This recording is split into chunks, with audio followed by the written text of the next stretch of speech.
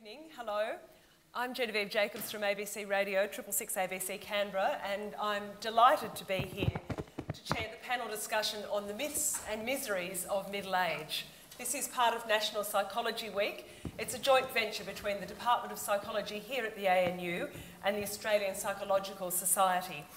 And I want to begin too by acknowledging the Ngunnawal people, the first custodians of this land where we sit this night and whose culture is among the oldest ongoing cultures in human history. We celebrate and acknowledge their presence, and I also acknowledge any elders who may be present this evening.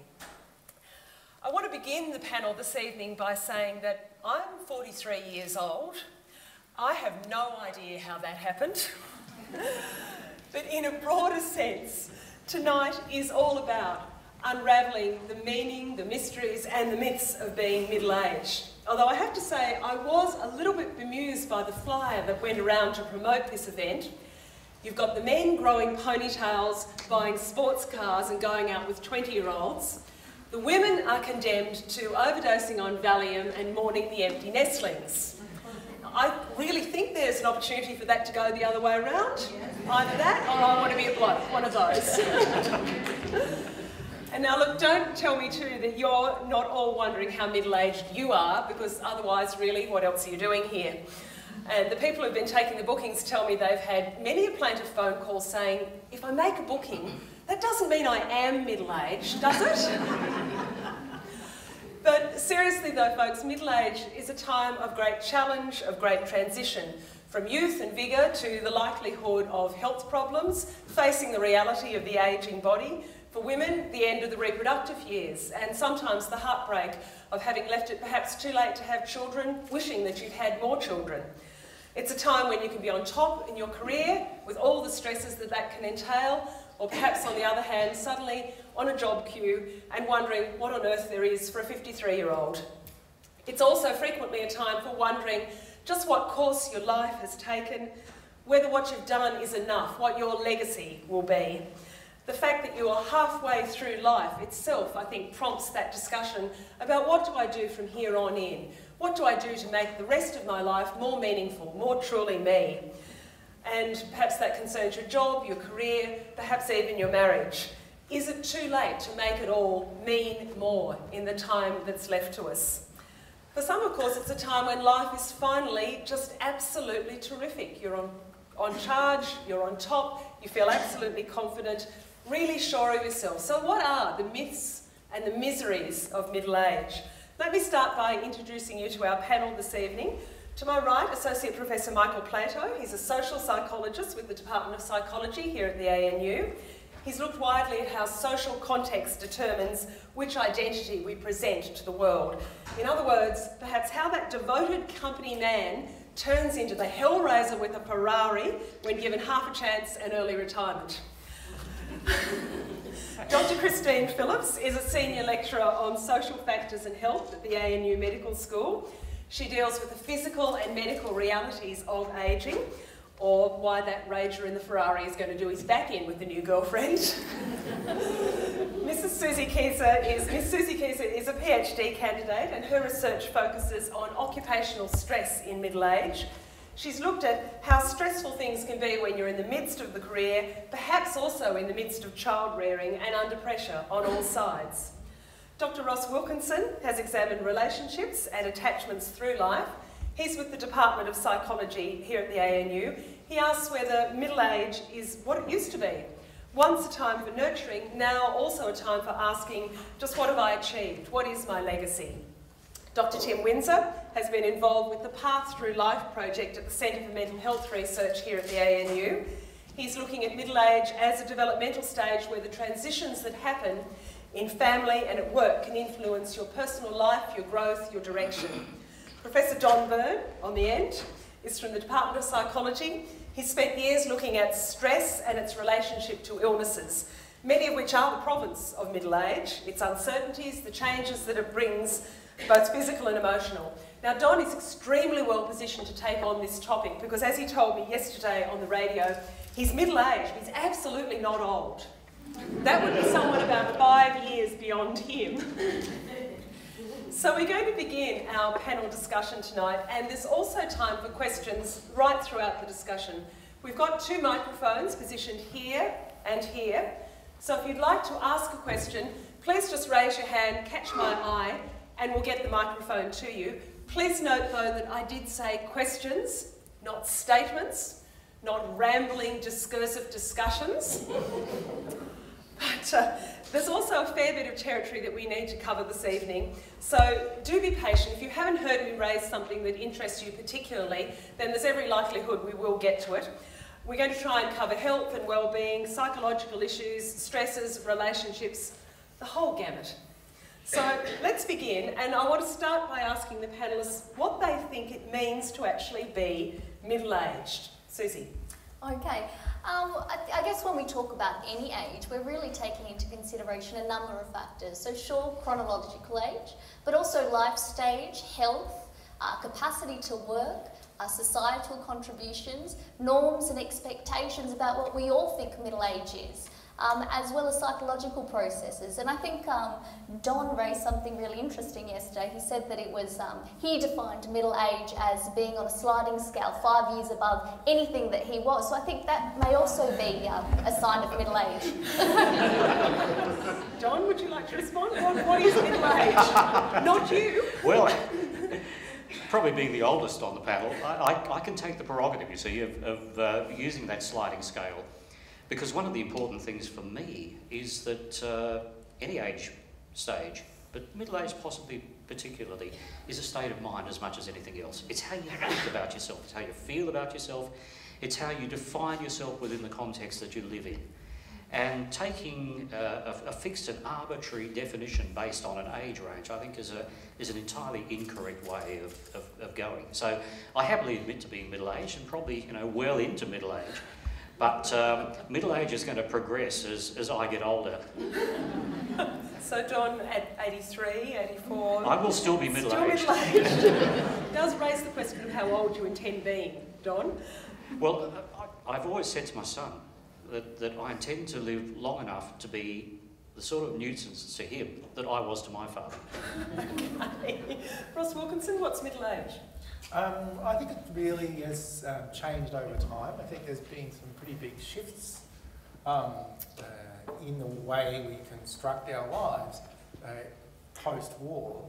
If you look now, um, the average age at which people get married for males now is about 30 years of age, and for women it's about 28.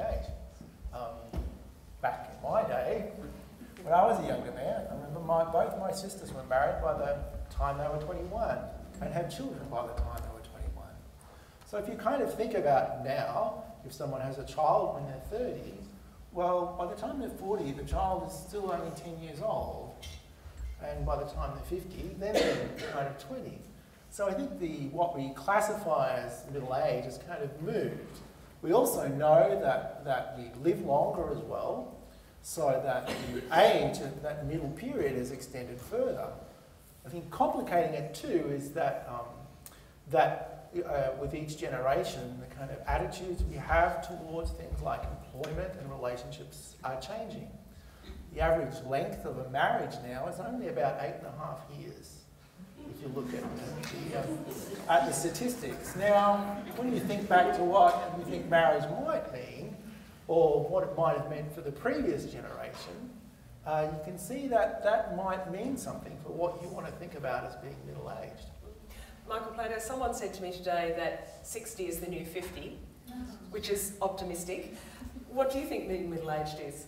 Well, I think my, my, ideas about these have to do with uh, kind of kind of like uh, what Ross was saying. I think that this is a very fluid and, and kind of flexible, but historically fluid and historically flexible thing. So rather than kind of saying to you, there's a definite psychological stage, of these ages, these are the things that happen for all people at all times and all cultures, I think that's, that's unquestionably wrong. That we have to understand the historical context in which we are, and it's not just about people living longer, it's about um, the economic opportunities we have to achieve goals and so and and to start that family or to pursue other life goals. Those opportunities. So so our life progresses not in the absence of a social context or an historical context. Our life progresses and is always bound by and constrained in many respects by the historical context and the economic context and the political context we live in and the cultural context. So middle, so I'm kind of not answering your question actually, you can see that. But what I'm saying is that I think it's it's a, it's it's fluid and dynamic, and it, and as I think Don was saying, it's it's also a, our psychological representation, and that representation, that understanding that we have about our life at any given point in time is going to be bound by these historical and cultural events. So what, whatever we might say today, and I didn't know I was middle-aged until Don told me I was. so again, and uh, but it, it's so our understanding of it is going to be very. Uh, that is uh, each of our not, not not the professional understanding, but each of our own subjective experiences of middle age is going to be bound in some ways by the the, the cultural and historical context we find ourselves. So that's kind of a, a roundabout answer, probably. Tim Windsor, are you middle aged? Will anyone cop to being middle-aged on the panel? I'm on the cusp. I'm on the cusp. But um, uh, while I agree with what all the other panelists have said, I'm actually going to try and answer your question. because when we do uh, when we do research, sometimes we have to be quite subjective, and we have to make a judgment to, in order to break up our data into little chunks that we can make meaningful comparisons between. And the, the modal entry age of midlife is typically regarded as being around 40 and the modal exit year is between about 60 and 65. So, so until um, Don tells us how old he is. okay, Christine Phillips, is there a medical definition of middle age? Uh, no, there isn't. But let me, let me answer something that other people have said around uh, numbers. I think middle age is probably a time when we become very fearful of numbers. That's the time when people say, I won't disclose my age. I'm 47, so I am middle aged. Um, my 15 year old son came up with a beautiful way of thinking about this. He said, after you turn 46, you should stop using numbers. So you should be 40 heaven, and then 40 great, and then 40 fine. And, and I thought that was a lovely way of stepping away from the idea that once we hit middle age, we are fearful of those numbers.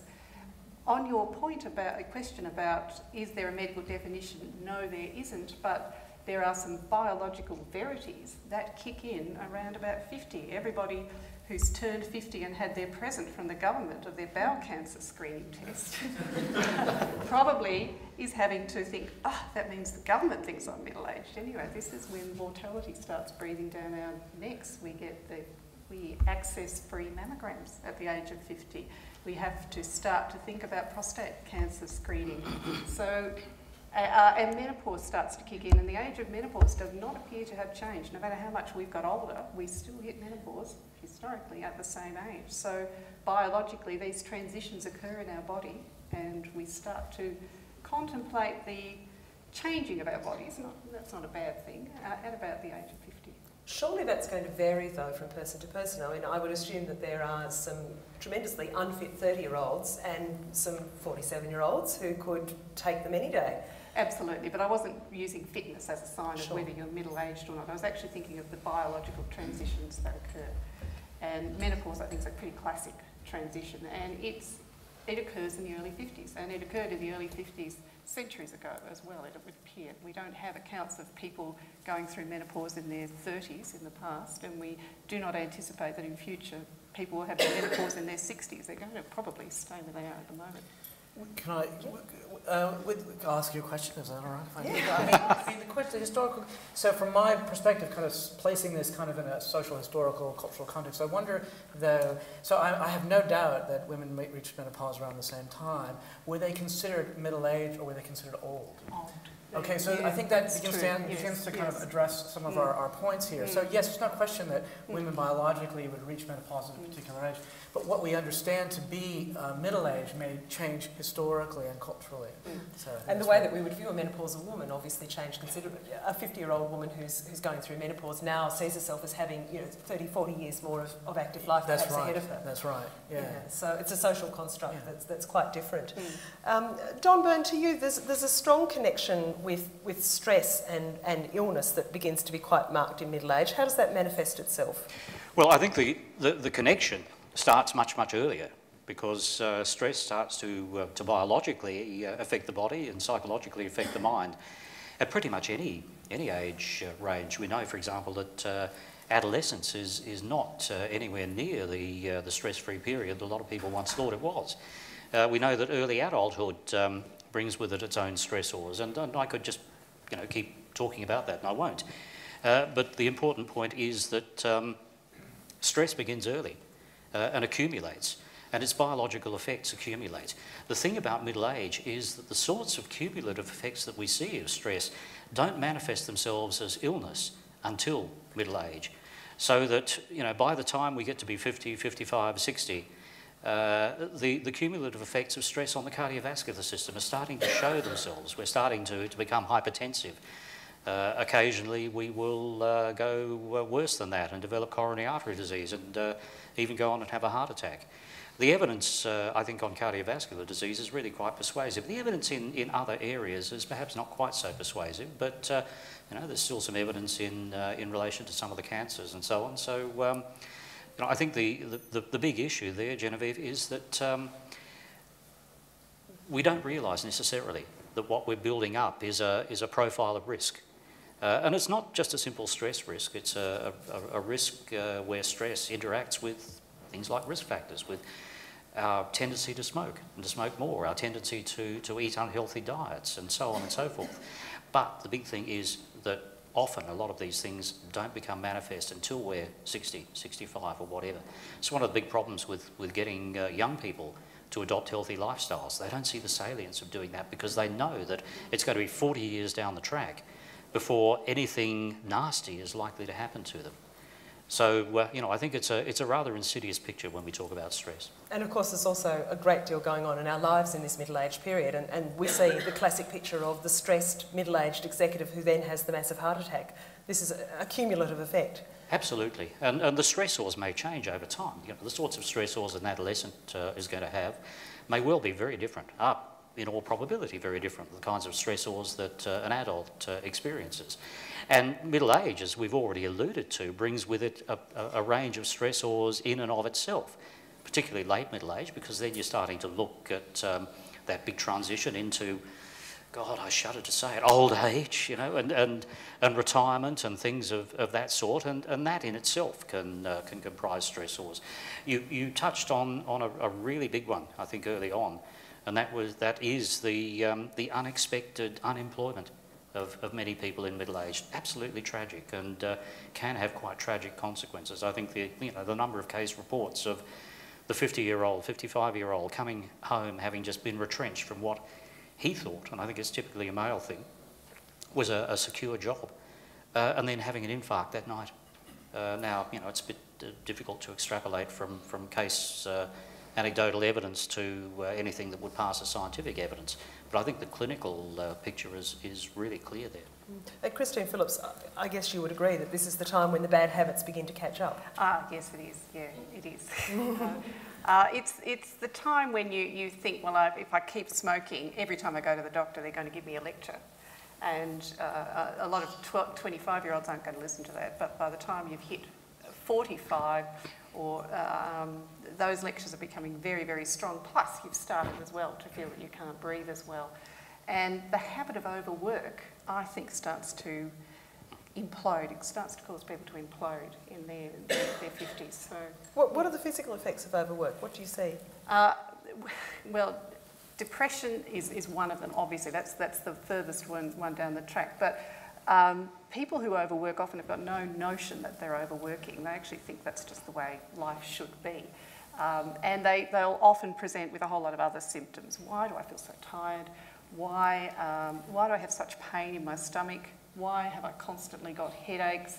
Why have I got such a short fuse? With women, why, why do I feel so, like, why am I weeping at work? Now, that's often interpreted as menopause, but often it isn't anything to do with menopause, it's actually the habit of overwork and the demand, particularly in this town, of people working far too hard. I am very happy to take questions. If you want to just pop your hand up, and I think we've got one up there. I'll just get the microphone up to you. Just catch my eye, and because it's a discussion with you as well as a discussion between us. And um, Canberra audiences are always very well informed. yeah, go ahead, please. The face to their beautiful voice on the radio. Oh, thank you. for hosting this. Uh, one question I was wondering if, so the research which has been done here would be more relevant to this context, as in this culture, would the same research in midlife crisis be relevant in, say, Southeast Asia or in African countries, where the middle age comes much sooner than here? Because people live 60 years and they die. So does it mean that people in Africa would be having midlife crisis at 30? That, that's a really fascinating question. The question is about whether middle age is, is different in different cultures. Um, who, who'd like to tackle that? Um, It's prob- uh, yeah, uh, or Tim? Yeah, I'll, I'll have a go. Yeah. Sure. Um, I think the answer is probably, but we don't really know. Um, midlife research is a relatively new area in the context of lifespan developmental research, and I think one of the reasons for that is because uh, while we, it's a little easier to make generalizations about the characteristics of development in early adulthood and, and then in late adulthood, whereas midlife is so uh, is so much more characterized by diversity of experience, and so we may very well see cultural differences in people's experiences in midlife, but even within a culture, there's such a great diversity of experience between those who might um, go through a sort of uh, crisis like experiences and those who are really at the peak of their functioning. Um, and indeed, even within the same person, someone might find themselves um, in one domain of their life, for example, work life, really operating at a peak level of high performance, but maybe in another area of their life, like family, things might start to go a little bit pear shaped. So um, I don't think we have an answer to your question, but I think it's a really interesting one, and I hope that um, growing efforts towards cross cultural research in areas of development and ageing might be able to help, help us answer that. And I, I think that's yeah, uh, accurate. I think it's completely, completely accurate. But I, what I wanted to add to that was just to kind of some, some conjectures with, without evidence. And just kind of say we do understand, as kind of my theme that's coming through here, is we do understand that there are different ways of understanding age. There are different cultures and different, and that's really what your fundamental question is. And I think that, you know, there are cultures, and we're aware there's indigenous cultures here and then cultures around the world. I don't know the specific ones that you've, that you've indicated, but the, the point is that the different cultures see age differently.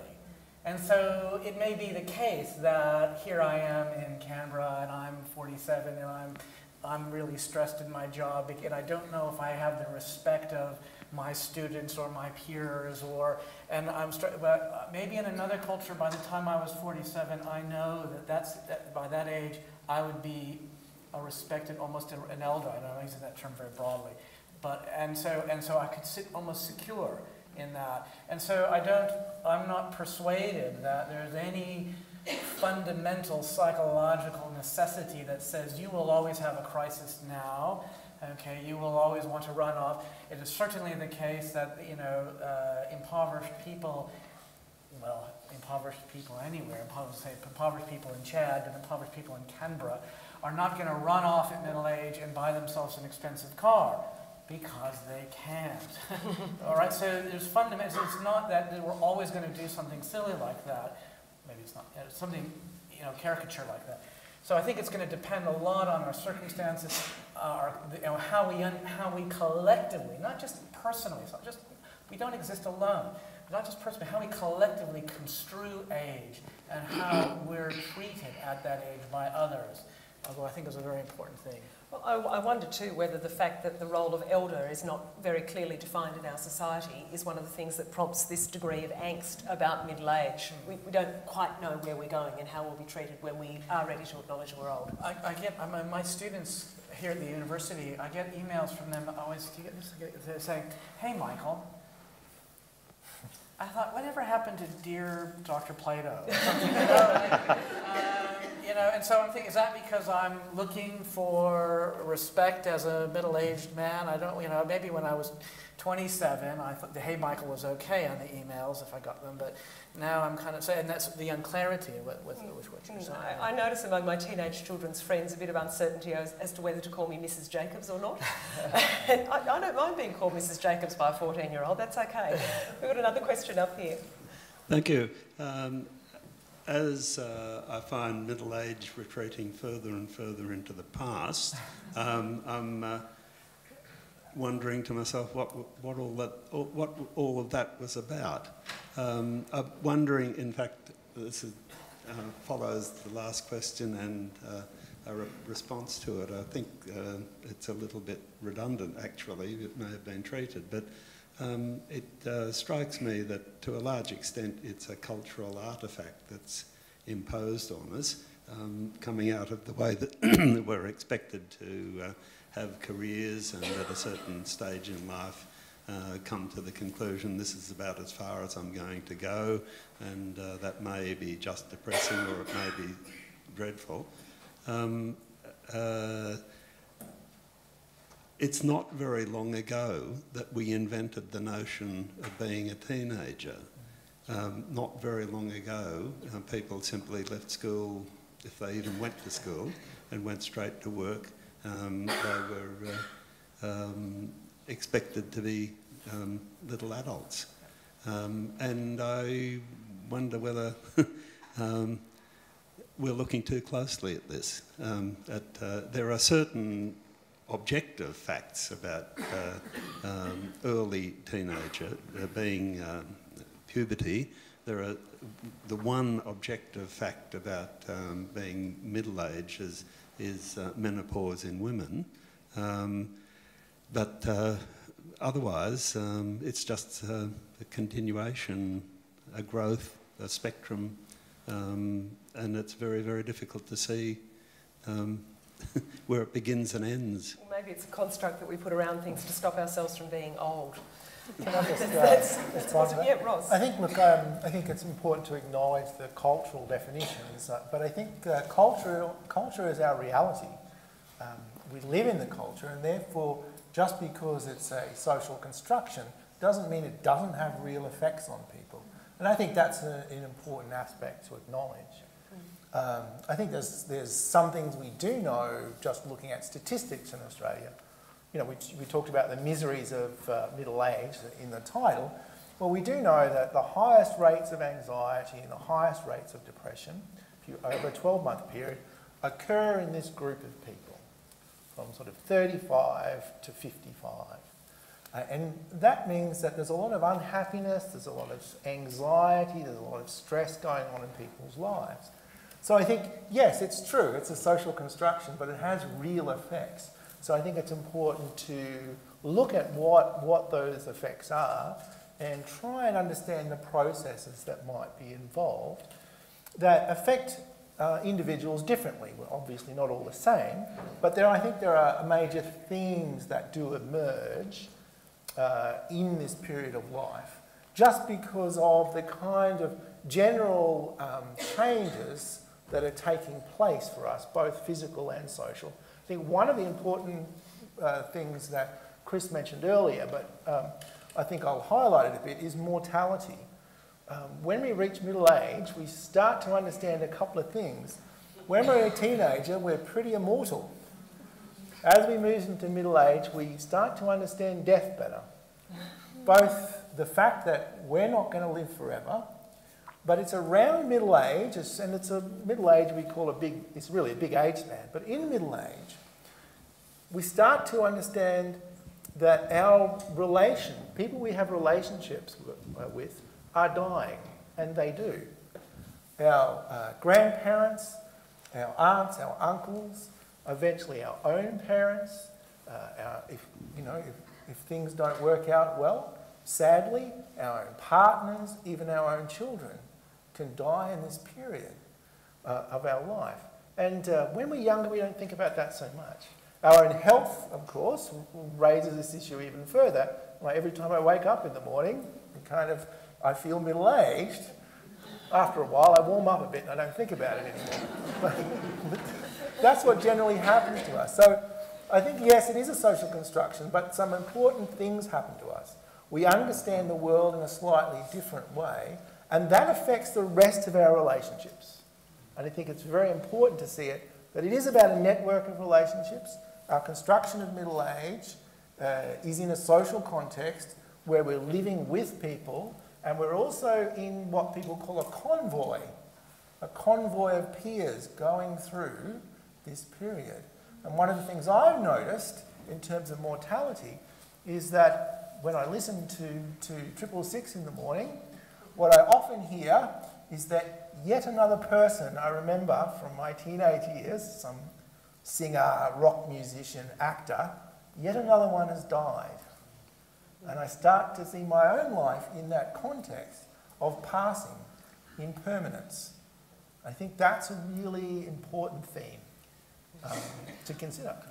Yeah, Sorry, sure. could I just pick up on that? Because I, I agree it is really important. And I think, um, w- well, a lot of the developmental research is now focusing on this notion of future time perspective and, and the growing uh, salience of limits to future time as people get older. And one of the areas that's, that's been, that, that has been linked to is people's emotional well-being in the period that we might refer to as uh, late midlife or, or young old adulthood is another word for it. But it's that sort of um, that time of, uh, say, around between age, ages 60 and 70. And uh, people in that age group actually have really high levels of well-being, um, much higher than younger people, despite the beginning of aging-related losses. And one of the major explanations for that is that as people start to perceive their time as becoming more limited, they detach themselves from future orientated goals about their career in their life and what they want to achieve, and they focus much more on emotional meaning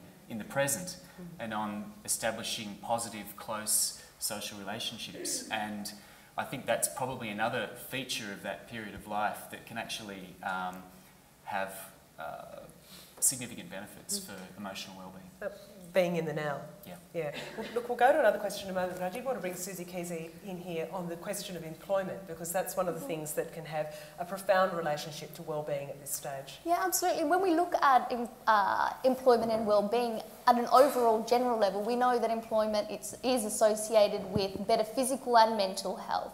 But when you start to look at that relationship more closely, you realise that the nature of work itself can be associated with adverse health risks. And in middle age as well, I think it's really important to consider that role of work, given that it is such an important role, and um, and both and that the fact that both men and women have a strong psychological attachment to work. So it's not just we're not just looking at the health risks. Um, uh, sort of in addition to what Donna said, that accumulated health risks in terms of cardiovascular risk, um, diabetes, musculoskeletal injury, mental health risks in terms of depression and anxiety and substance use, health, um, health behaviour risks such as um, smoking, alcohol use, um, diet, and whatnot. But we're also needing to take into consideration that the meaning of work itself has an impact on uh, emotional well-being. So for men, uh, for example, uh, one of the strongest um, findings is that a job characterised by high demands and low control is associated with the biggest um, disease risk.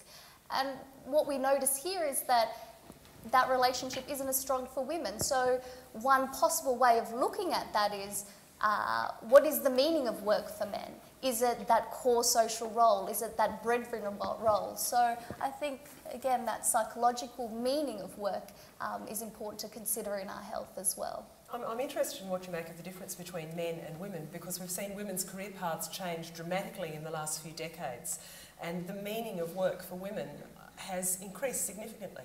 Yeah, absolutely. So, what we're seeing now is that women are accelerating their careers in their 40s and 50s, and they make up about close to 50% of the workforce. So, this is up about by a third since the 1970s. So, what we're seeing is a generational shift.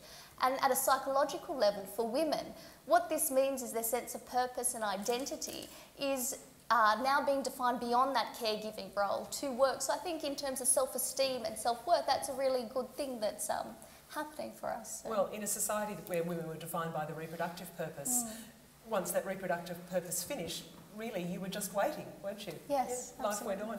I think we've got another question up here, somewhere. Yeah. I uh, want to focus on perhaps some of the miseries rather than uh, perhaps the myths as, as well.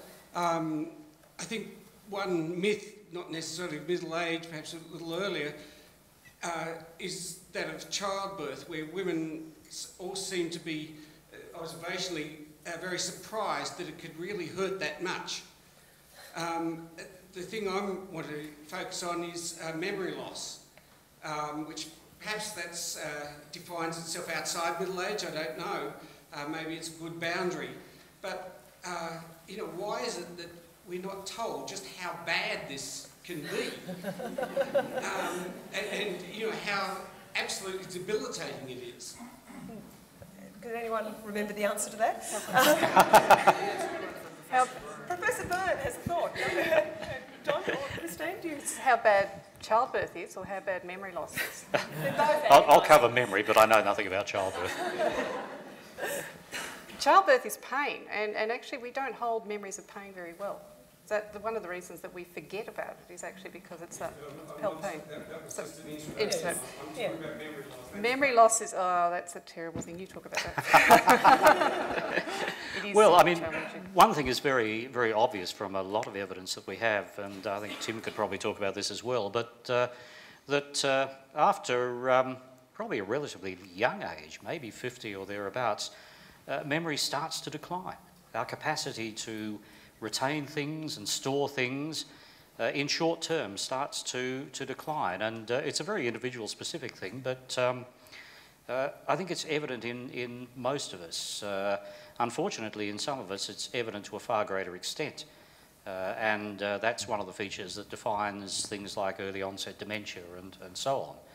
That we, we see people around us um, just not remembering uh, things that were commonplace or things that happened a minute ago or uh, faces that were familiar to them. And um, so we're looking at a, at a, a dimension of, of memory loss here. Uh, it's, it's not something that's uh, in, in any sense uh, uniform or, or standard.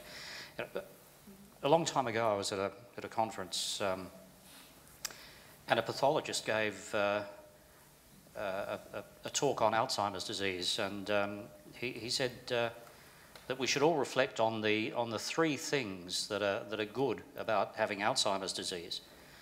Uh, one is that you can hide your own Easter eggs. and uh, the other is that you make new friends every day. And the third is that you can hide your own Easter eggs. and, uh, and unfortunately, it can sometimes get to, to that point. But um, one, of the, one of the really good things about uh, psychology is that if there's a problem, you know, we can think of ways of fixing it. And uh, if we're looking at, at sort of subclinical or quasi-clinical memory loss, there are all sorts of things that we can do. Little aide memoires to, to, um, to make sure that we, we don't forget things. I forget things uh, a lot. The way I rationalise it is information overload. Uh, you know, I say that I've got so much coming in that of course I can't.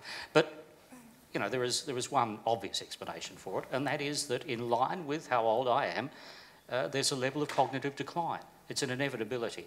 Uh, it, it comes with the territory. Uh, and, um, you know, we can try to, to think of ways and means of, uh, of helping ourselves along with that.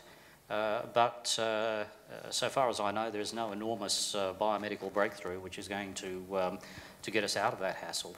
But I think, Tim, you've probably got more information on, on the, uh, the natural history of memory loss over the lifespan. I can, I can add a little bit to that, and, and one, one point is that it's not all bad news because while it is true that um, our ability to remember things on a short term basis and our ability to process information does tend to decline with age, our store of accumulated knowledge just keeps growing. And so, in, in that period of midlife, people really do develop high levels of expertise in the fields that they're, uh, they specialise in, and they can use that high level of knowledge often to compensate for these um, perhaps gradual declines in their ability to, uh, to use the mechanic aspects of their cognition. So that's one point. But in terms of uh, another interesting recent finding from some research we've done at uh, the Centre for Mental Health Research lately is that um, uh, Professor David Bunce, a visiting person from the, the UK, has uh, looked at, at brain scans of people in midlife and found that um, white matter lesions, which are associated with Alzheimer's disease, um, are more evident in people in midlife who do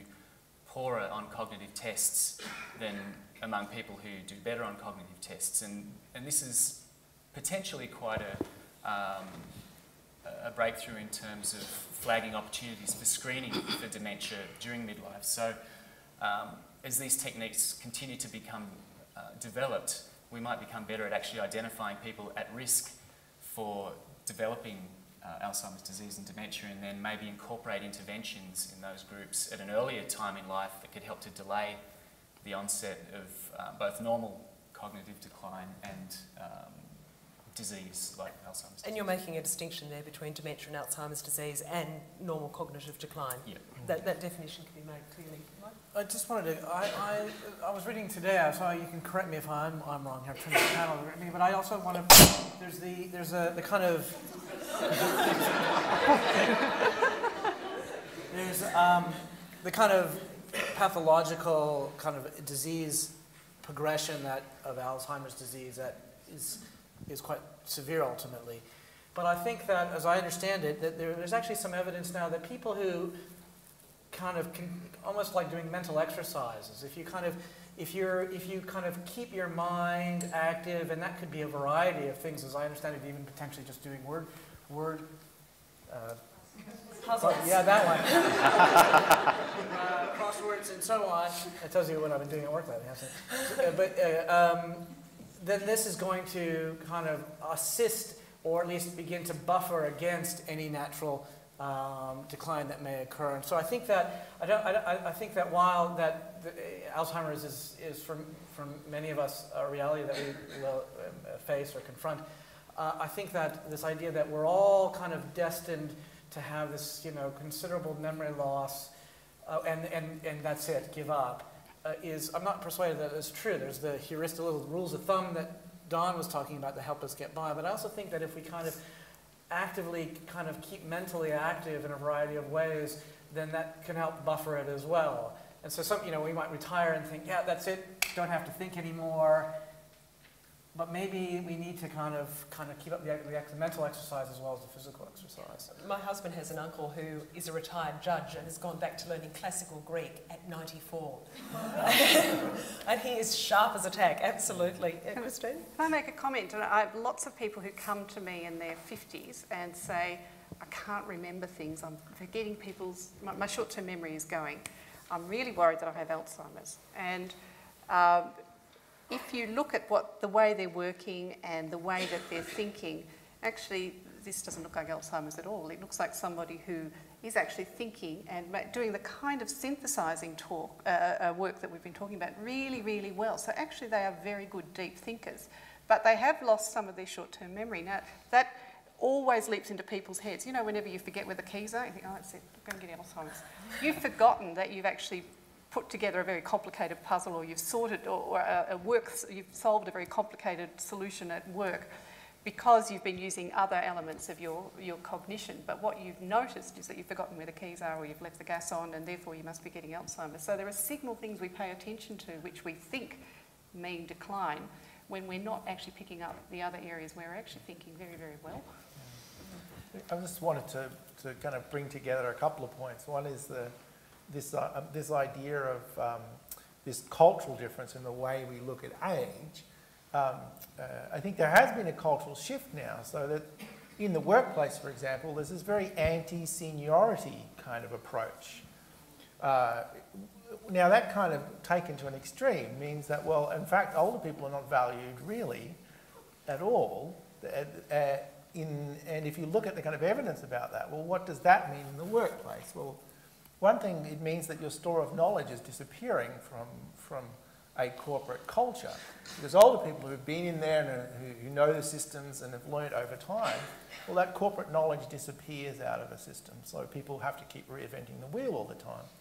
The other one is this kind of notion of like senility, this kind of prejudice against um, older people, even middle-aged people like me, can be seen by younger people as well. They're kind of just less capable uh, uh, because you know they can't think as fast or do something as quickly, and that's prized more. And I think if you look, the, the paradox to me is that as a nation we're getting older, but there seems to be an increasing age stereotype or prejudice that is actually occurring.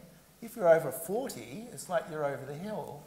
Uh, and I think there are, but there are many counterexamples, of course, of people who, who try and start new careers Sometimes it works out. For Kevin Rudd, it didn't kind of work out quite so well. but there are uh, other people who are quite successful at it. he can change mid-career and, and start off again.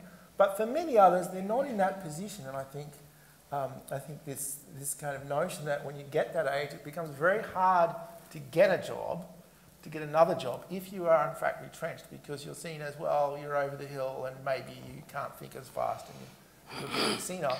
So that's an interesting paradox to me. As a nation, as we get older, I just see more evidence of kind of age prejudice in, to some extent. I've got a question over here. Um, oh, sorry, the microphone's up there. I'll go to you in a moment. Yes? Um, I, I'm Marian Karkovic. I'm middle-aged and proud of it. I've been hearing for the last uh, 50 minutes nothing but gloom and doom about middle age. So could, could, could you as panellists tell me the benefits there is about being middle-aged? Because there's more of us than have ever been before in history. And uh, I think most of us probably like it. Um, but I'd like to hear the benefits of middle age. Thank you. Uh, look, I think there are some really major benefits if we open our eyes to them.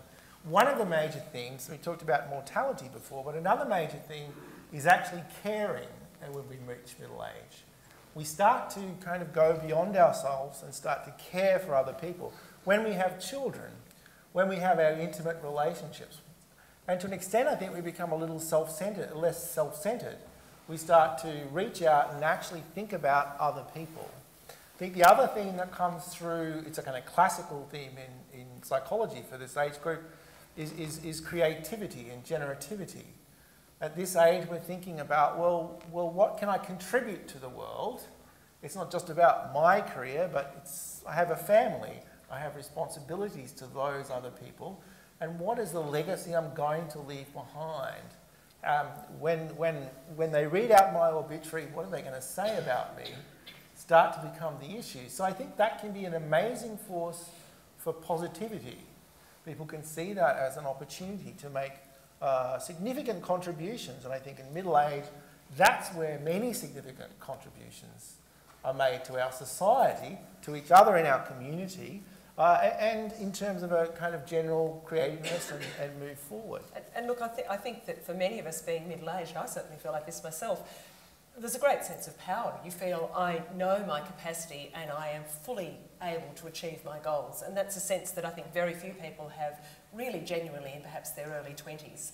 And I, I, who else would like to comment on that? The, Don, the good things about middle age. The good, there, there, are lots of good things about middle age. And, and I, I'm, I'm, I'm really pleased you raised it because when we first started talking about this forum and, and about a title, we were going to talk of it as um, middle age, uh, misery or magnificence. Uh, and uh, I'm a little bit sorry that the magnificent bit got lost because, uh, you know, I think there are some magnificent things about middle age. Uh, the, the physical decline is, is something that, um, although we can use all sorts of things, uh, including the good services of Christine and her colleagues to counteract, we, we can't necessarily stop it. But what are the good things about middle age? There's, there's wisdom, accumulative knowledge, there's a, a, a capacity that you don't see in the young because they want to act rapidly, quickly. They want to dive in and, and, and do things without thinking. People of my age, I think, I hope, will step back a bit and say, now hang on, let's, let's just think about all of this in, in terms of the context, in terms of the history, in terms of my cumulative experience. What should we do? And, you know, I guess I'd put my head on the block and say that uh, decisions under those kinds of circumstances are often better in the long run than the, the impulse-driven decisions that, that young people uh, are, prone to make.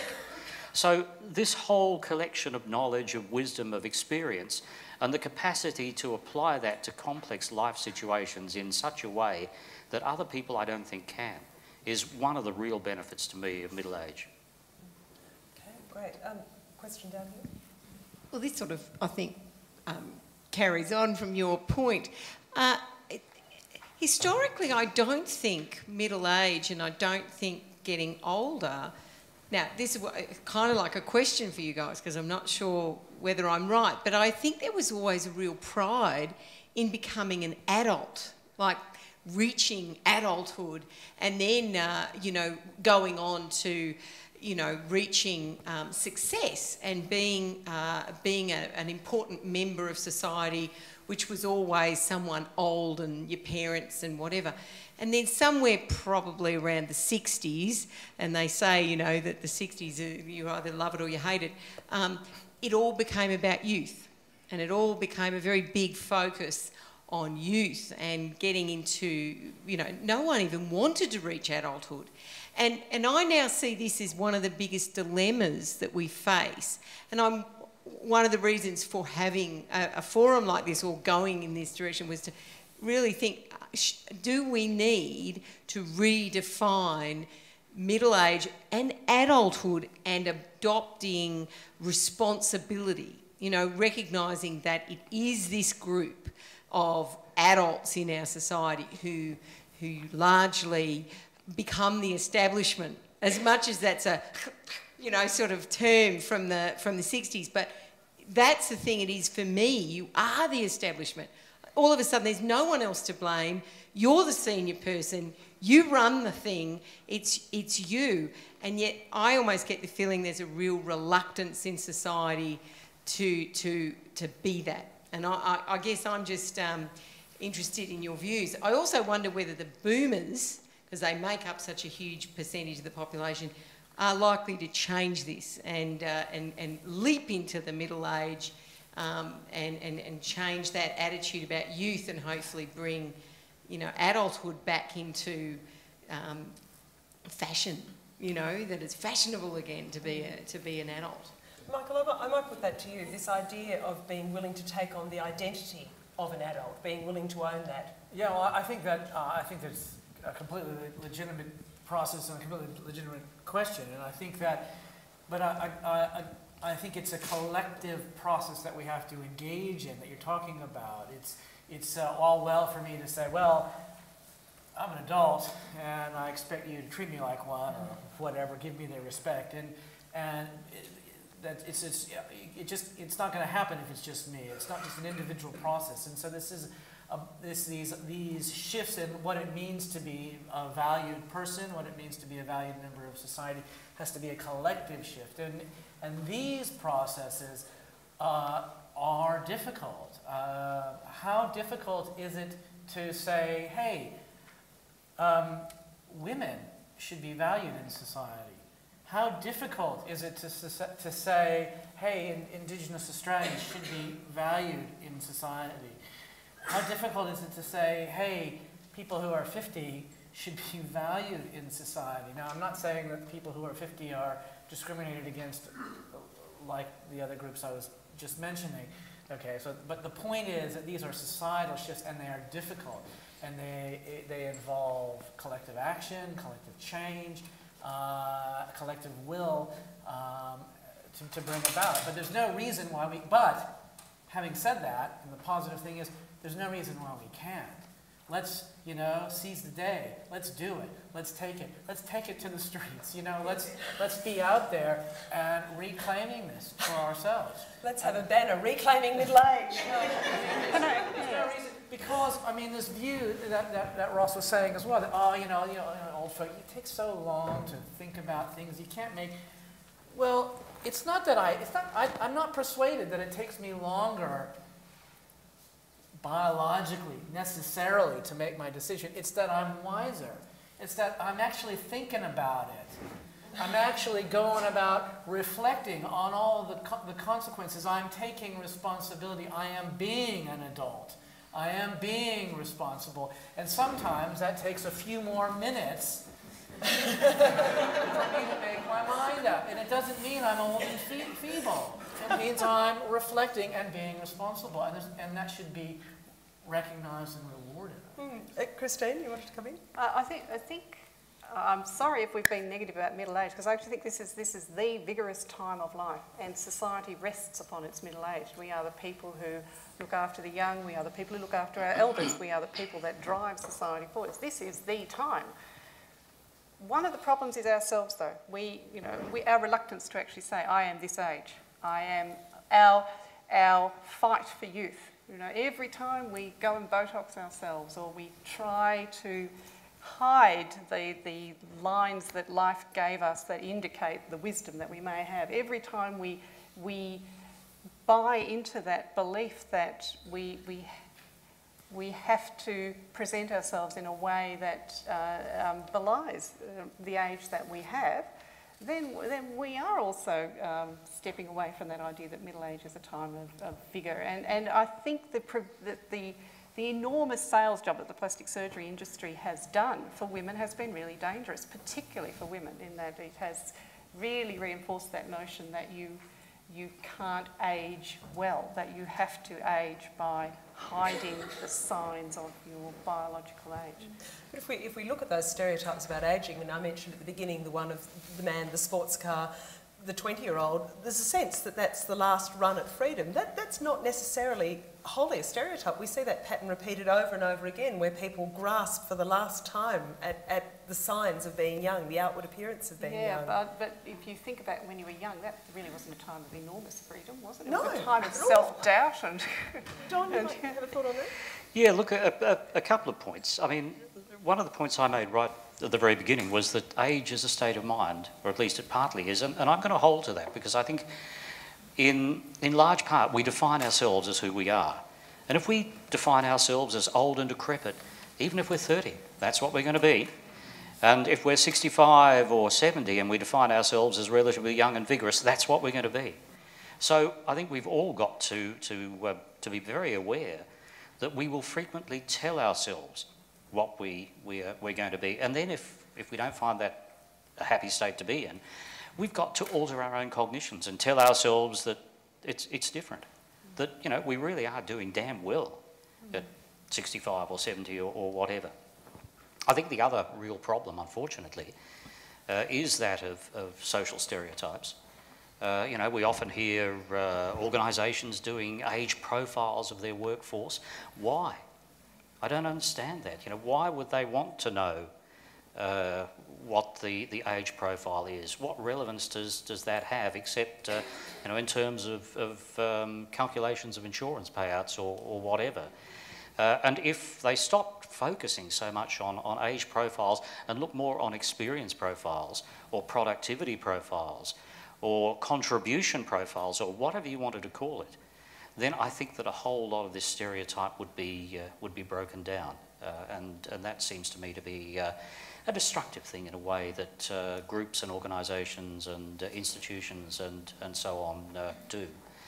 Um, I mean, in, in terms of, uh, of, of the magnificence of middle age, I think that, you know, quite frankly, it is or it can be a, a, magnificent period. But we've got to work on making it so uh, for us. And uh, I think if, if, if we give up and we accept the social stereotypes, then, then we're lost. Uh, so I think that, you know, we middle-aged people have to, to make those decisions for ourselves, but then um, be very vocal about uh, those decisions. You, you talk about the, uh, you know, the, the sort of symptoms of midlife crisis and going out and buying a, uh, a, a, a fancy car and so on. Some of you may have seen a picture of me in the Canberra Times this morning next to my new Alfa Romeo. Uh, that is not a middle-age crisis, and, and as, uh, as it said, uh, and as I made sure the, the nice young lady who interviewed me yesterday said, my wife told me I had to go out and buy an Alfa Romeo. It wasn't me who said I have to go out and... But seriously, I think that a lot of what we would view, again in a stereotypic way, as a midlife crisis, is actually relatively ordinary people putting up their hands and saying, recognise me, don't reject me, don't tell me because I'm over 55 that I'm also over the hill, I'm of no use, I can't contribute to society. Now they're doing it sometimes in rather bizarre and flamboyant and occasionally destructive ways. But in, in a sense, I would see that almost as a, as a cry for help, a cry for recognition, a way of saying, don't discard me. Don't put me on the trash heap just because I'm 55, 60, 65. They're doing it in interesting ways, but nonetheless, you know, I think it's a real statement, and I think we have to recognise it, not so much as a, as a grasping for teenage dreams, because as a number of people have pointed out, you know, we didn't have those dreams necessarily as teenagers, and if we did, they wouldn't have been realisable. But I think it's a statement of, of, of the need for identity, the need for acceptance, the need for recognition. Uh, and I think we as society need to, to recognise that and acknowledge it. I, I, do want to talk in a moment about um, the transitions that happen in relationships and marriages in particular, but I think we've got another question up the back here. Yeah? Yes, uh, just two quick points. There was a discussion earlier about mortality, reflecting on mortality, middle age, and there was an example given of rock stars. Isn't there a flip side to that? Uh, I'm thinking of the longevity of people like the Rolling Stones and uh, Leonard Cohen still doing three-hour concerts, Blondie yeah. touring. So it makes me think about longevity rather than mortality. Uh, but my question is about whether anyone on the panel thinks that there is a, is a tendency to medicalise and even pathologise the ageing process. If you pop a few pills, HRT, Viagra, a whole suite of antidepressants, cosmetics, uh, that could stave off, fix, cure, or slow down the ageing process. Is anyone concerned about that? Um, yeah, I think there's a, there's a couple of things to say about that. Yeah, I think there, there, there is this kind of, um, there, you know, you've got to remember that, that medicine is, can be tremendously beneficial and many of those medications you spoke about have been a boon to people uh, and assisted people greatly. But they're also the products of money-making multinational corporations who are interested in, in the whole process. And we know now that those companies are much more interested in creating drugs for so-called chronic diseases because that means if it's a chronic disease, you will have to keep taking that drug for 20, 30 years. And so you'll make a lot of money out of that, uh, in, that in that sense. So I think it's true. I think it's a balance that, that goes on. There, is, there are forces that, that kind of drive that process, but often they are in response to real issues. Um, diabetes is a, is a kind of classic example. Um, uh, hypertension, heart disease are actually all real things that people need assistance for and people's quality of life have been improved. Uh, but your general point I would agree with, that, that you know, we cast this negative life over get, uh, light over getting older and, see, and tend to see these changes as somehow pathological rather than normal aging, partly because I think we have a concept, uh, a problem with the whole concept of aging uh, because of kind of a youth culture that aging equals bad and therefore it must be a disease kind of thing that's happening to me. Mm -hmm. um, uh, and so, yeah, that's how I'd respond to that. And if Keith Richards represents aging well, um, I think you're all doing marvellously. but I, I did want to talk about these transitions in relationships because it strikes me that, that middle age is often a time when marriages, when partnerships dissolve, and it seems to me that perhaps there are long-running partnerships that have a certain function. We reach this transition point and then sometimes they end. And there's that concept of trading in the old partner for a new model. And I, I wondered what the panel's response to that kind of transition. Tim, your thoughts on that? Uh, well, it, it relates to some specific work that we've been doing lately where we've looked at um, the level of interrelations between couples um, in terms of their mental health. And, and, what we found was that partners who have been together for first-time partners who got together very early in life and are still together in older adulthood or, or late midlife um, were very closely intertwined in terms of their uh, mental health. So if one partner tended to have very good mental health and the other partner was more likely to, and, and vice versa. Um, however, when we compared that group to a group of people of a similar age where at least one of the two members of the couple had been in a previous partnered relationship, we found that there was actually very little um, interrelation between the couples who'd been previously partnered. Now that's not necessarily a good or a bad thing, but it just shows that the two groups are very different. And it's interesting as we think about the implications of um, the aging baby boomers and the fact that um, repartnering is more common in that age group, that the spousal uh, dyad may become a less central context for emotional well-being um, at the population level into the future. I, think you're saying there that the husband and wife team might not be the core of society. Is that what you mean by the, the, the core of happiness? The matrimonial dyad or yeah, yeah, yeah, that's, um, just, that's mm. a good interpretation. well, Christine Phillips, to you on that, one of the changes that happens in menopause is that the so-called caring hormones disappear. And, you know, the, the impetus that women have for nurturing as, as a really primary role is lessened. And I wonder whether that also has an impact on relationships and a bid for freedom, perhaps, on the part of some middle-aged women. I don't know how much of that is biological.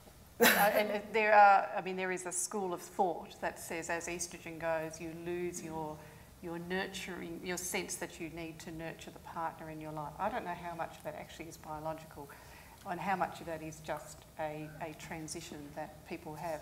It is certainly true, I think that, um, I mean, I've had women come to me and say, I really don't care what other people think about me anymore. What a liberation. what a fantastic thing to happen. And I think that's been hormonally mediated.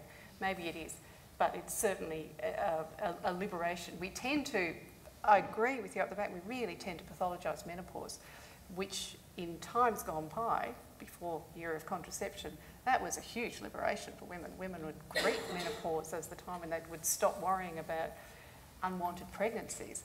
Um, so we tend to pathologise it very much now. But the nurturing element is, is, is a tricky one. I know that I'm extending your question a bit because women in, women in, in middle age actually find themselves caring up as yeah. well as caring down. And so not only are they caring, setting aside the partner, they are also, the, the children, they are also, particularly women, but it's by no means limited to them, are also caring for their their elders. And once upon a time, that didn't happen so much because elders didn't live for such a long period and so vigorously. So you, many women, many people in the audience will be familiar with that phenomenon of actually finding that your parents are frail and that you have to re-evaluate that relationship with you with them and care for them. And that is a, it's one of the great challenges, one of the great getters of wisdom, one of the great triggers of the wisdom that you get in middle age, I think, but also one of the great challenges of it. And I guess with the delay in childbearing for many women, with, with that generation of women who have not had babies until the very late 30s, yes. lots of people aren't going to be finished parenting until they're 60. They may be very young and then parenting up as well. Yeah, yes. and, and with parents by that stage who are perhaps well into their 80s. Yeah. Um, Don, I wanted to put to you something I know you've looked at. Sexual capacity can, can also change, and that can also lead to all sorts of problems in, in long-running partnerships, and there's a, a really big potential impact there, isn't there? I hadn't realised I'd looked at it. but yes, you're right. I mean, sexual capacities change, sexual desires change, uh, sexual performance change. Somebody mentioned a little while ago Viagra. Um, and uh, obviously, in, in middle aged men, for a whole range of reasons, erectile impotence is a real problem, and a problem which impacts enormously onto their self image, their self esteem, uh, and so on. I think Christine also touched on something a little while ago. Um, uh, in, in which um, uh, the loss of fertility may mean a, a, sexual liberation for some women because they can now engage in, or could then, engage in sexual behaviours without risk. Uh, whether or not this, um, I guess, impacts over into actual social and, and interpersonal behaviours, I don't know. I mean, Ross, Ross may well know the answer to this, but uh, you know, are middle-aged people more promiscuous than, uh, than, than, adolescents? I don't think so, but, um, but it, it, it, may be the case. Perhaps well, they're just better at, at hiding their activities, Ross. wiser, smarter. might be wiser and smarter at doing it, it's true, but uh, middle age is the peak period for divorce. Yes. We know around the mid-40s, that's when most people get divorced. But it's also, on the flip side, it's also the peak period of remarriage as well. So families do restructure. I think that's important to recognise that. In terms of the infidelities thing, I think, well, it, it, it's kind of a combination of factors. And I find it interesting the rise of this idea of the cougar. In the, oh, you know, yes. it's kind of a Hideous kind of predatory, middle-aged mm. female uh, who, who, becomes divorced and then is after all these young men. Now, um, I don't, I don't really understand why uh, to some extent, some people see that as more acceptable than the predatory male doing this similar kind of thing. Uh, but somehow that's also been uh, uh, arising in culture. I think there are kind of differences we know about men's performance. You know, peak performance sexually for men is quite a young age, and then you know tends to, to drop off. But there is this thing about women being you know more sexually kind of uh, at their maturity at a much older age. Now, I'm not an expert on those kind of points, but um, that's what uh, that's what we're told. Um, I don't know. What do the other panelists think? Is that Well, I, I would speculate that perhaps part, partly that's because of that greater level of confidence that women have about themselves and their bodies. Yeah, although I think, I think with that issue about young men being at their peak in sexual performance, that's purely around erectile function. Sex is more than erectile function. so- That's all that a 17 year old has to offer. Nothing more.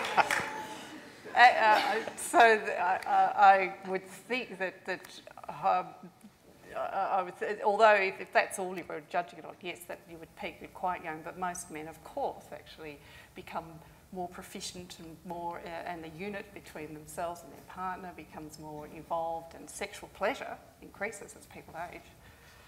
Um, I'll leave aside the issue of, of, of uh, uh, Viagra. I think has actually been quite liberating. Viagra has probably been quite a liberating medication. It seems to me, although it has again returned the idea of sexual performance to erectile function. That's the thing that Viagra did. It did reconfigure sex as erectile function. Now that erectile function is important for sex, but it's by no means the only thing that's needed, and you can have very satisfactory sex without a, without a very strong erection.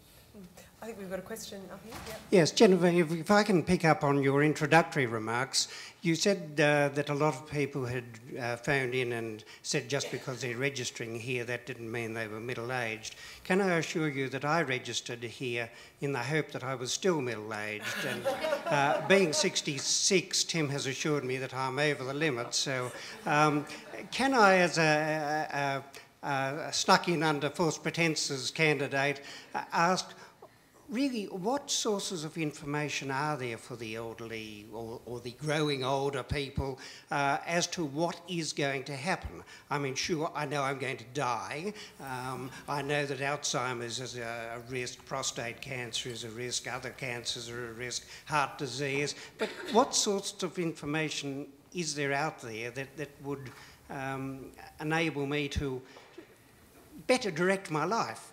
Um, and before I give anyone a chance to answer that, I suspect Christine Phillips is probably the best one. Could I just comment? One of the speakers said that there was a reluctance to hire people in their 50s because of physical or mental failings or, or that. I'd strongly refute that.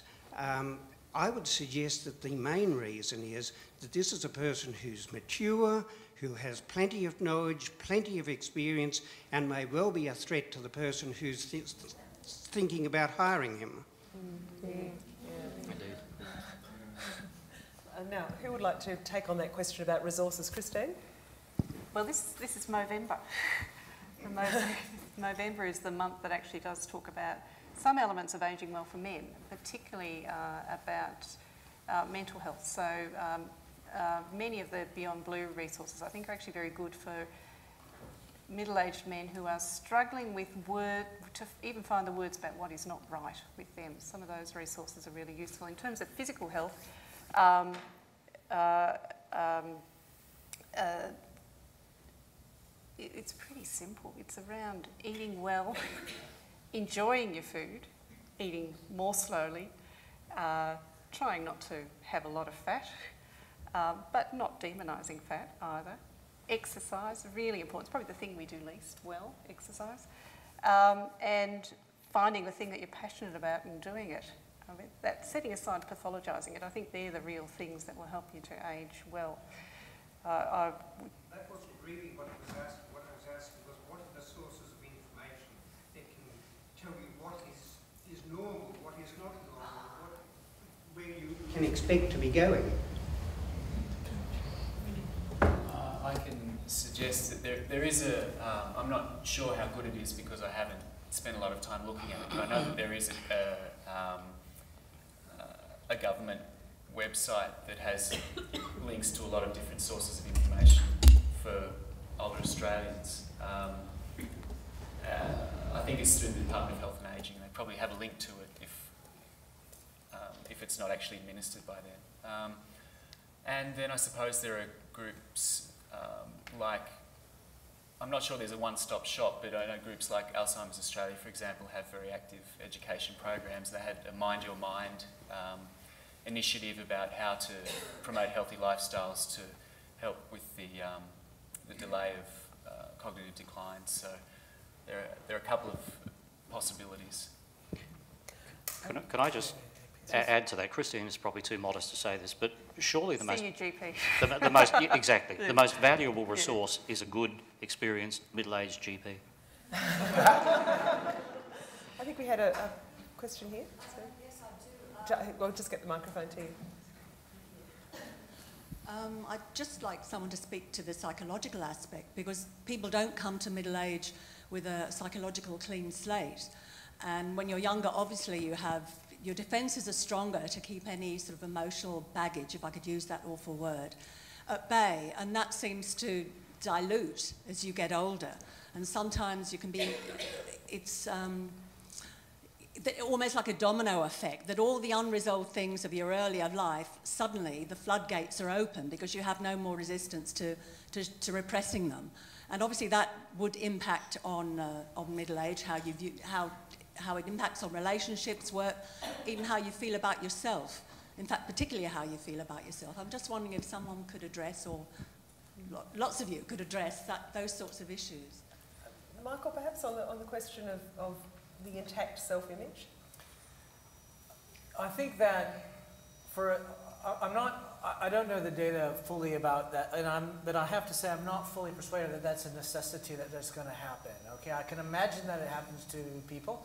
I'm sure it happens to, to people. I don't think that it has to happen, and I think that, and I don't think it has to happen. And when those kind of floodgates open, I don't think it has to happen in middle age. If it happens, it could happen older. It could happen younger.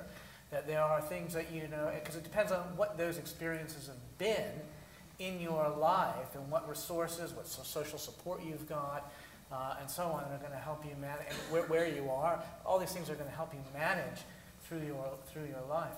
Uh, and the variety of different kinds of identities that we have. I mean, there is some evidence uh, from a variety of different uh, kind of approaches to the question that kind of the more and I don't want to use this in a path. This is not a pathological sense, so, so don't, don't don't misunderstand it. The more identities that we have, and I don't mean that kind of like multiple personalities, kind of as a stereotype.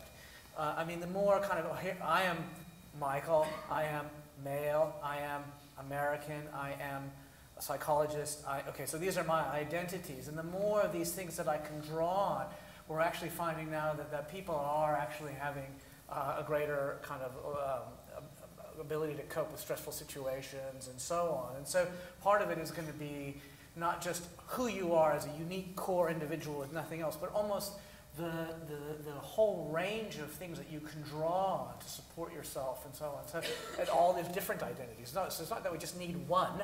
In fact, I would say we need lots of different kinds of identities that would help support us. Some of those identities eventually drop away, like seeing, viewing yourself as like a young. person.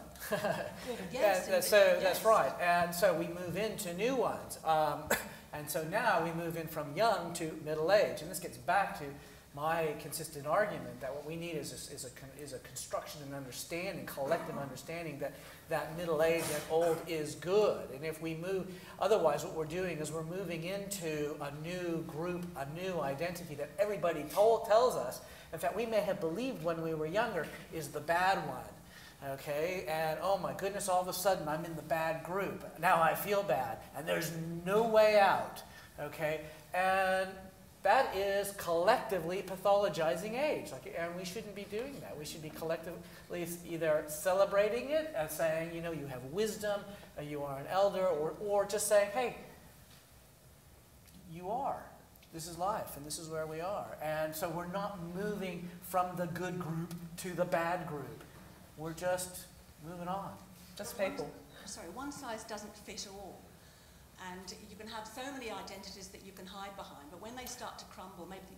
No, yeah, I don't know. I, I wouldn't call them hiding I know behind. you don't agree, I'm just wondering if someone else who might just understand what I'm asking and respond to it. Well, maybe middle age might be a time to heal. If you are in that reflective um, stage in your life, it might be an opportunity um, to heal your relationship with others, relationship with self. So really focusing now on yourself and, and personal growth in that way. So rather than perhaps obligations to others. I think we've got time for perhaps two more questions. We've got one here. A lot of what people have been saying throughout this has been to do with sort of milestones that you reach at middle age. And yet at the same time, everyone's been sort of saying that we don't really have those defined milestones anymore. People don't get married straight out of school. Your career doesn't finish at 65, and your marriage doesn't last from marriage till the end of your life anymore. I mean, we just don't live in that kind of very defined society that I can see. And I think, you know, what a lot of people have said about physical problems and emotional problems, there are plenty of youthful diabetics, there are plenty of young, depressed people. So maybe what I'm asking is how much of the problems that people encounter with middle age and with sort of accepting ageing and entering old age have to do with the fact that we don't live in a society where you can tick the boxes of I've achieved all the milestones appropriate for a 65 year old, now I don't have to worry about it anymore. I mean, do we, do we sort of live in a society where the concept of being in a particular age group doesn't matter? Is that why people we're all comparing ourselves to youth, and then some of us are not as young as a 16 year old or as a 25 year old, but we don't really have that sort of sense that there are, there are points that you've reached in life that are relevant to you that are less relevant to a 16 year old or a 25 year old. Yeah, I think there are, it's a very interesting point you raise. I think one of the, the things I, that I think we should um, try and bring out is that uh, it's important not to be arguing that any age is better than any other age in that sense. That middle age is any better than people who are young. And uh, I do a lot of research with adolescents, and one thing riles me up, and that's a kind of stereotype about adolescence as being trouble, young, stupid, rebellious, all of that kind of stuff.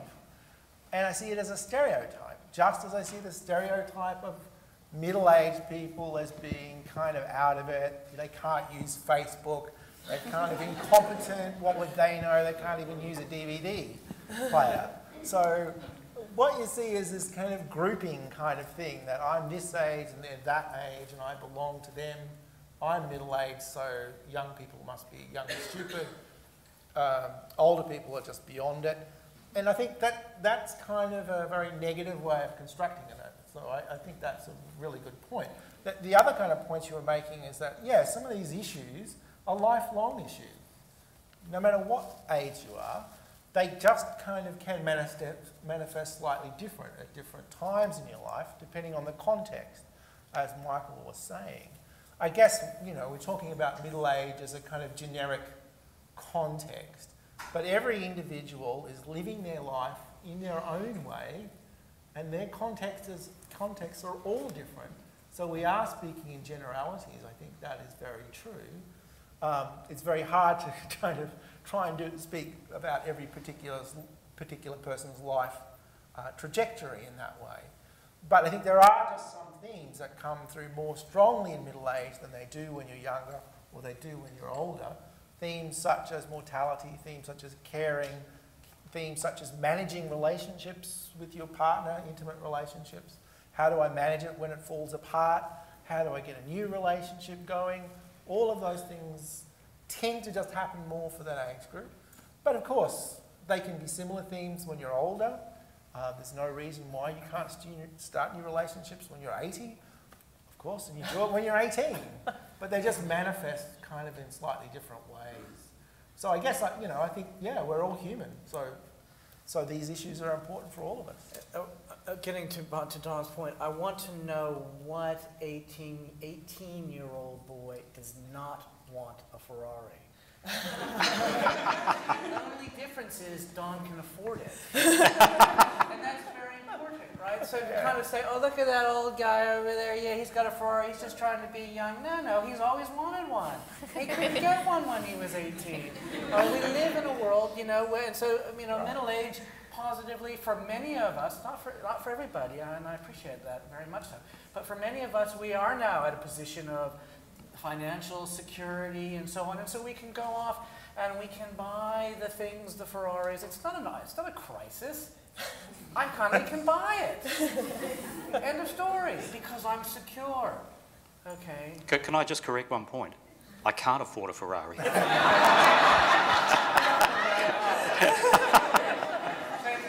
Look, look, I, I can confirm I've got two 18-year-old sons who would love a Ferrari. look, let's, let's end it on that note. It's been a fantastic discussion. Could you please thank Suzi Keser, Ross Wilkinson, Michael Platow, Tim Windsor, Christine Phillips, and old bloke on the end. Um, Byrne. Let's give them a round